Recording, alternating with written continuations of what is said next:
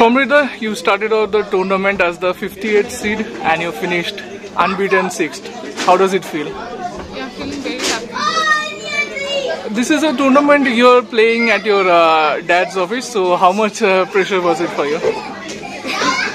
Not like that, but uh, now that I have to play then.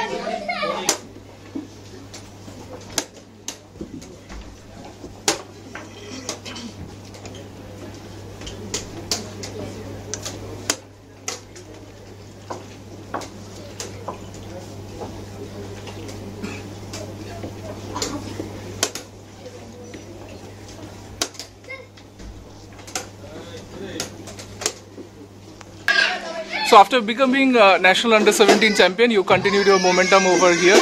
So what's the secret of your performance? Nothing actually. Actually, from the past two weeks, I have not like practiced that much because my exams uh, are starting from this Wednesday. So I think this this I just played just because uh, uh, this was organized by my dad's How are you balancing uh, studying in class 12 exams and tournament at the same time? Actually, I'm, I feel very lucky that my mother helps me in preparing for my studies and she's also a teacher. So, so that uh, that's why my education and chess I'm able to balance.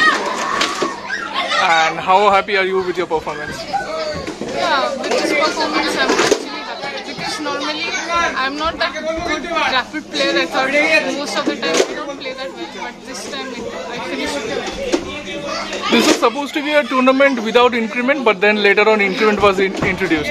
So uh, are you with uh, increment or are you against? Very much with increment. Okay. What's next for you? Next, I think I'll play state juniors. Thank you, Samriddhaa, for speaking with Chessbase India. I wish you all the best in future endeavors.